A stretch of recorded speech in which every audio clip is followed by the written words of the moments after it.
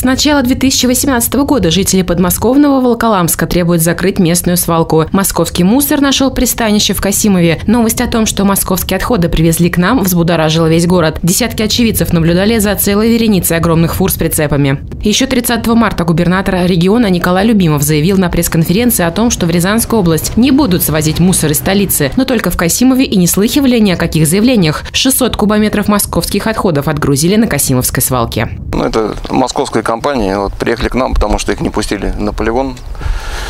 Вот. Мы пошли навстречу, чтобы мусор не был выкинут в лес или куда-то еще.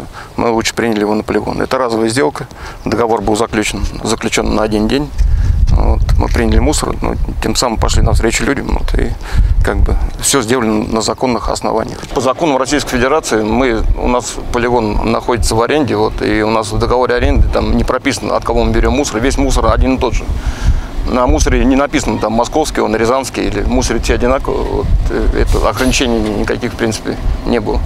По поручению главы региона вице-губернатор Рязанской области Игорь Греков в субботу приезжал в Касимовский район, чтобы проверить информацию о мусоровозах с московскими номерами. Все собранные материалы направили в природоохранную прокуратуру, и в Касимов незамедлительно выехал Рязанский межрайонный природоохранный прокурор. Во-первых, должны быть соблюдаться санитарно-защитные зоны, Э, эксплуатации данного объекта. То есть это зоны, установленные для каждого объекта, за пределами которых негативное влияние, экологическое влияние – Э, ощущаться не должно. Касимовский полигон ежедневно принимает до 300 кубометров твердых бытовых отходов. В штате числится 14 человек. Они занимаются приемом и сортировкой. Проверка показала, полигон работает с нарушениями природоохранного законодательства и санитарно-защитных норм. Кроме того, мусор должен складироваться траншейным способом. Особое внимание уделить значит, э, вопросам, э, где идут наличие промышленных отходов, не твердых бытовых, строительных отходов и те отходы, которые могут негативно повлиять на различные компоненты природной среды вода, почва, воздух.